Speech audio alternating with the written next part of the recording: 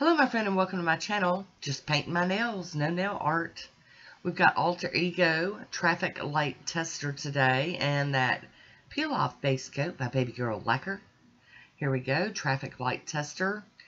And if this one goes up first, this was a man, uh, polish I really meant to use for Christmas. It didn't happen. And it has sat in my box since Polish and Beauty Expo. Not this year, but last year. So I decided to pull it out and put it on anyway.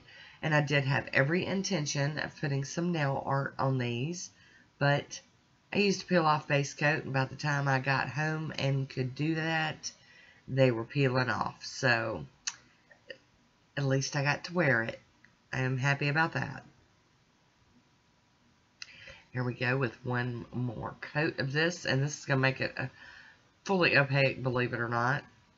It's a bling-tastic polish for sure. And this will wrap up all of the polishes from my trip to the Polish and Beauty Expo at Nashville.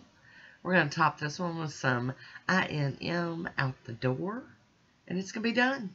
Got our swatch photo and everything. so, I still wanted to share it with you even though I didn't do any nail art. Because it is a really pretty polish. Very blingy. Get that capped free edge. Ta-da! How gracious and gorgeous. And there it is. I do hope you enjoyed this one.